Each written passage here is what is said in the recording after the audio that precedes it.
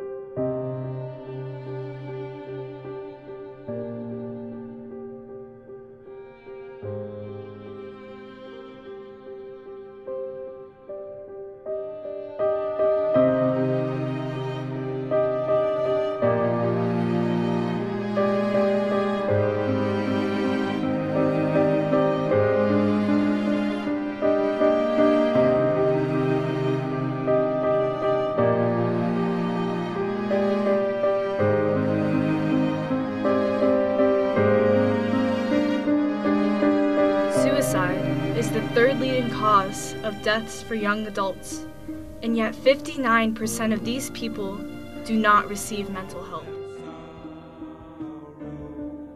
Victims of bullying are between two to nine times more likely to consider suicide than non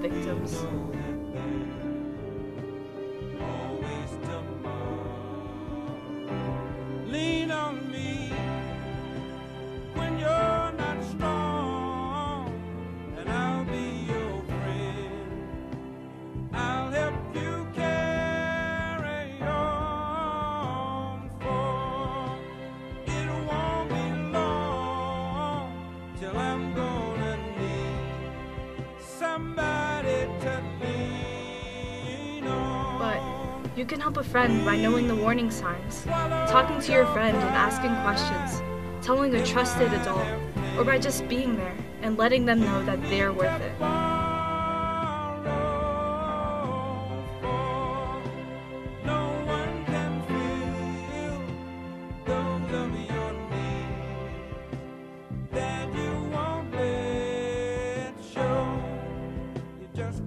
It only takes one person to change a frown into a smile.